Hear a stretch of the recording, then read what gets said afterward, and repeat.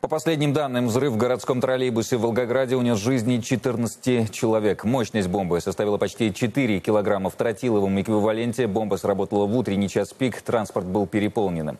Этот теракт прогремел спустя всего 17 часов после взрыва на железнодорожном вокзале. Для координации действий силовиков в город по поручению президента прибыл глава ФСБ Александр Бортников. Здесь он провел заседание Национального антитеррористического комитета. Ну, какова обстановка в городе и какие заявления прозвучали, узнаем у нашего корреспондента в Волгограде Дмитрия Кулько. Дмитрий, здравствуйте, ждем от вас подробностей. Да, Галина, недавно в Волгограде закончилось э, совещание Национального антитеррористического комитета, которое возглавил э, лично глава ФСБ России Александр Бортников. Он заверил, что обязательно будут расследования, расследованы оба теракта.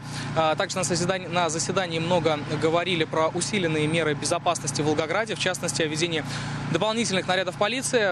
Вместе с полицией уже патрулируют бригады казаков и дружинников.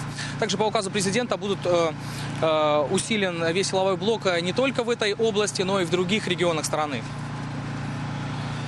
Мы э, принимаем э, совместные меры с органами э, власти и местного самоуправления для осуществления необходимых мер вот, заградительного характера. Вот, в том числе и привлекаем дополнительные силы бригаду внутренних войск, которая будет работать на улицах совместно с представителями полиции. Вот. Привлекаем общественные организации,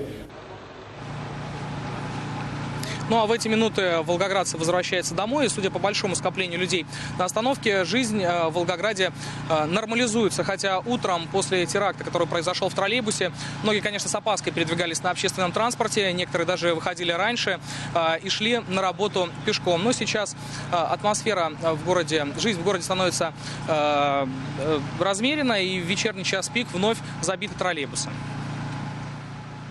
Имеется, конечно, пассивно, но а куда деваться? На работу надо идти и надеюсь, что наши правоохранительные органы сделают свое дело.